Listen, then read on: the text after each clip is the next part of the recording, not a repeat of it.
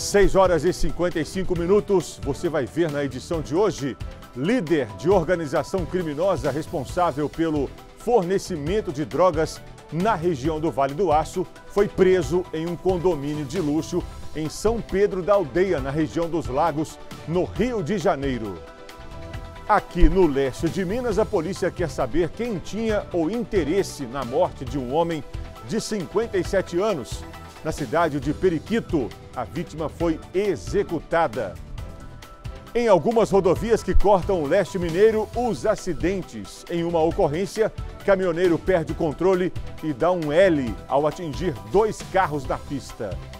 Agora no MG Record pela TV aberta e no Facebook da TV Leste, facebook.com